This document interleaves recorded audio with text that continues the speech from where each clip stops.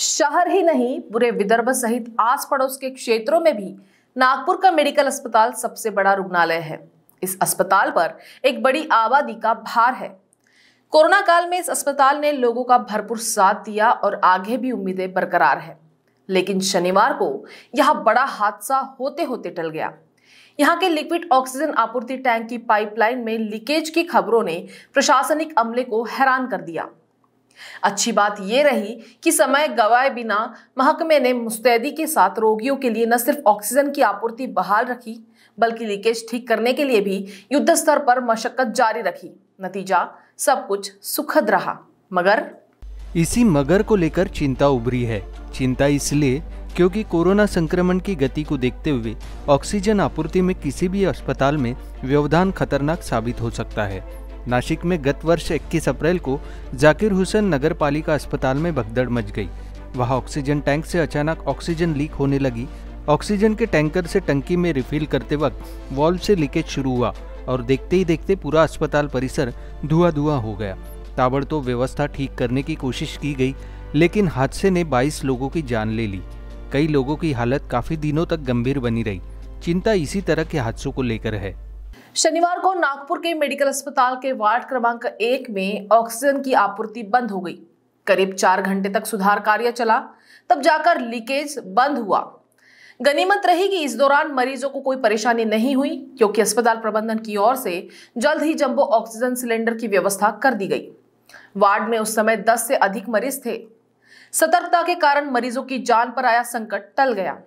अन्य विभागों में भी कोई परेशानी नहीं हुई, क्योंकि मेडिकल परिसर में 3200 एलपीएम का और शासकीय दंत चिकित्सा महाविद्यालय के पास 3200 और 2000 एलपीएम के तीन ऑक्सीजन प्लांट तैयार किए गए हैं। इसके अलावा वार्ड क्रमांक 24 के पीछे एक ऑक्सीजन प्लांट शुरू है। मेडिकल ऑक्सीजन को एक बड़े से कैप्सूल नुमा टैंकर में भरकर अस्पताल पहुँचाया जाता है। अस्पताल में इसे मरीजों तक पहुँच रहे पाइप से जोड़ दिया जाता है। क्योंकि हर अस्पताल में तो ये सुविधा होती नहीं है, इस वजह से अस्पतालों के लिए इस तरह के खास सिलेंडर बनाए जाते हैं। इन सिलेंडरों में ऑक्सीजन भरी जाती है और इनको सीधे मरीज़ के बिस्तर के पास तक पहुँचाया जाता है। यहाँ अत्याधिक सावधानी बरतनी होती है, लेकिन बताया जा रहा है कि ऑक्सीजन स्टोरेज टैंक के पास कोई सुरक्षा रक्षक नहीं था। यहाँ से निकलने वाली ऑक्सीजन धीरे धीरे वही फैलने लगी थी। मरम्मत कार्य पूरा होने तक टैंक के पास ज़मीन पर 6 इंच तक ऑक्सीजन फैल चुकी थी। मरम्मत कार्य पूरा होने से राहत मिली। हालाँकि इस दौरान आधे घंटे से अधिक समय तक शटडाउन किया गया था। यहाँ यह जानना ज़रूरी है कि सिलेंडर में भरकर ऑक्सीजन को रखने की ज़रूरत क्यों?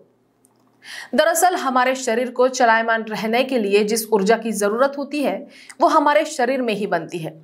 हम जो खाना खाते हैं, वो हमारे शरीर में केमिकल रिएक्शन के तहत जलता है और हमें उससे ऊर्जा मिलती है।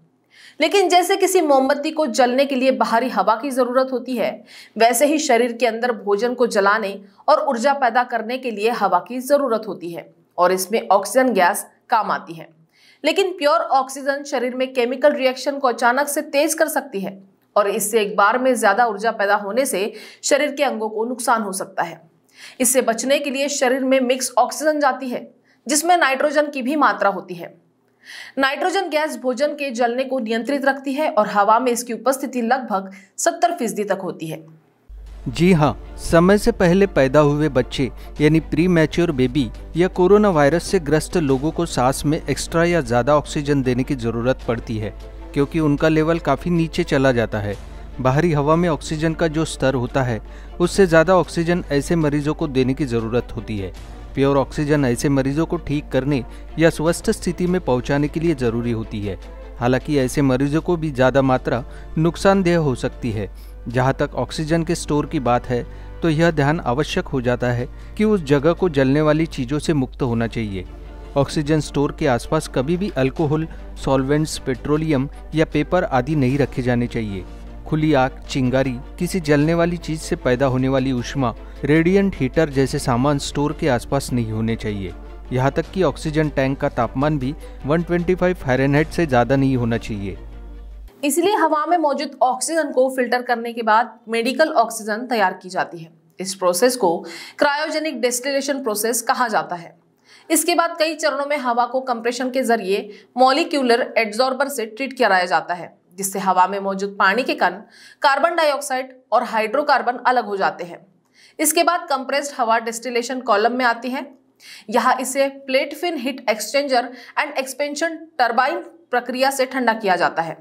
इसके बाद 150 डिग्री सेंटीग्रेड पर इसे गर्म करके डिस्टिल किया जाता है। जानकारी के लिए बता दें कि मरीजों को जो ऑक्सीजन दी जाती है, वह अट्ठानवे प्रतिशत तक शुद्ध होती है। इस ऑक्सीजन में कोई अशुद्धि नहीं होती, जिस कारण मरीजों को इसे सांस के रूप में लेने में कोई तकलीफ़ नहीं होती। ऑक्सीजन प्लांट में हवा से ऑक्सीजन को अलग किया जाता है। इसके लिए यूनिक एयर सेपरेशन की तकनीक का इस्तेमाल किया जाता है, जिसके तहत पहले हवा को कंप्रेस किया जाता है और फिर फ़िल्टर करके उसमें से सारी अशुद्धियाँ निकाल दी जाती है।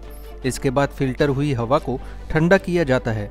फिर इस हवा को डिस्टिल किया जाता है ताकि ऑक्सीजन को बाकी गैसों से अलग किया जा सके, जिसके बाद ऑक्सीजन लिक्विड बन जाती है और इसी स्थिति में ही उसे इकट्ठा किया जाता है। फ़िलहाल वर्तमान में इसे एक पोर्टेबल मशीन के द्वारा हवा से ऑक्सीजन को अलग करके मरीज़ तक पहुँचाया जाता है। एक वयस्क को आराम करते वक्त भी 24 घंटे में करीब 550 लीटर शुद्ध ऑक्सीजन की ज़रूरत होती है और मेहनत का काम या वर्जिश करने पर अधिक मात्रा में ऑक्सीजन चाहिए होती है। एक स्वस्थ वयस्क एक मिनट में 12 से 20 बार सांस लेता है। यदि कोई व्यक्ति एक मिनट में 12 से कम या 20 से ज़्यादा बार सांस लेता है तो वह किसी परेशानी से ग्रसित है। एक स्वस्थ व्यक्ति के ब्लड में ऑक्सीजन का सेचुरेशन लेवल पचानवे से सौ फ़ीसदी के बीच होता है। कोविड 19 महामारी के दौर में अगर किसी व्यक्ति का ऑक्सीजन लेवल बयानवे फ़ीसदी से नीचे है तो उसकी हालत गंभीर है। कोरोना आने के बाद से ही दुनिया भर की ई कॉमर्स वेबसाइट्स पर पोर्टेबल ऑक्सीजन कैन बिक रहे हैं। भारत में भी ऐसे कई उत्पाद 500 से तीन हज़ार रुपए की रेंज में मौजूद है। कई कैन के साथ ऑक्सीजन मास्क भी दिया जा रहा है। ये पोर्टेबल ऑक्सीजन कैन, पिपरमिंट और साइट्रस जैसे अलग अलग फ्लेवर में भी मौजूद है। हालाँकि जानकार मानते हैं कि लोगों को तरोताज़ा महसूस करने, तनाव कम करने, जूम कॉल से पहले ऊर्जावान होने के लिए ऐसे ऑक्सीजन कैन का इस्तेमाल नहीं करना चाहिए। इन कैन को इस्तेमाल करने वाले लोगों ने कॉफ़ी की सिरप के बजाय ऑक्सीजन का पफ लेने की बात कही है। लेकिन जानकार मानते हैं यह बहुत नुकसानदेह हो सकता है। भारत की मेडिकल ऑक्सीजन की उत्पादन क्षमता 6,400 मीट्रिक टन है और कोविड 19 की भयावह स्थिति के मद्देनजर देश में 15 अप्रैल 2021 तक मेडिकल ऑक्सीजन की खपत चार मीट्रिक टन हो गई थी। अचानक से बड़ी मांग के चलते ऑक्सीजन की दूसरी लहर में कमी हो गई थी। ये हकीकत है और हकीकत ये भी है कि विभिन्न अस्पतालों में ऑक्सीजन लीक होने से जानलेवा स्थिति बनाई है। इसलिए जीवन के लिए जितना ज़रूरी ऑक्सीजन है, उतना ही ज़रूरी ऑक्सीजन को बरकरार रखना है, शरीर के अंदर भी और बाहर प्लांट में भी। लापरवाही दोबारा मौका नहीं देती। जीवन रक्षक ऑक्सीजन ही जान ले लेता है। इसीलिए सावधान रहे, ज़िम्मेदारी निभाने वाले इसे गंभीरता से ले। चूक होने वाली घटनाओं की तरह दूसरी घटना न हो, स्वस्थ रहे स्वास्थ्य रखे। मौका नजाकत भरा है। कभी भी ऑक्सीजन की ज़रूरत पड़ सकती है। इसे जाया न होने दे। फिर मिलेंगे एक नए खुलासे के साथ। तब तक बने रहे हमारे साथ। अपने सपनों की उड़ान भरने की इच्छा तो हर किसी की होती है। पर पंख भी तो मज़बूत होने चाहिए। जो देता है flywheel aviation academy flywheel aviation academy एक ऐसा इंस्टीट्यूट है जहाँ पर एयरलाइंस एंड एयरपोर्ट हॉस्पिटैलिटी और टूरिज़्म मैनेजमेंट साथ ही यहाँ campus interview guidance by industry expert practical training at airport expert faculty personal grooming जैसे कई सारे बेनिफिट्स आप पा सकते हैं। Flywheel aviation academy one degree three job opportunities flywheel aviation academy gives you a degree or diploma with a job. Flywheel Aviation Academy, 365 Gandhinagar, LAD college square beside Karnataka Bank Nagpur